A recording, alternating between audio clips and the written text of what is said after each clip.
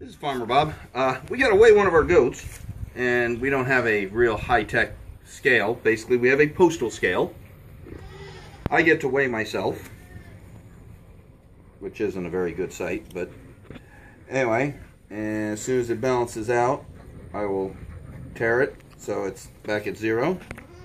And now I get to pick up the goat. Well, Miss Kathy's going to hand me the goat. And then we can look down. if Miss Kathy can get the thing and see how much he weighs. Fifty. We're gonna say 50, 52. All right, let's try it again. Okay, it that's better.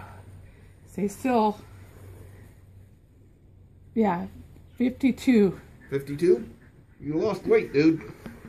It keeps going from 52 to 54. Uh, we'll call him 54. Want to call him 54? Yeah, because I don't know how well it tared out with me on it. Then it's going to freak out because I got off. Okay, there we go. So, he weighs 54 pounds.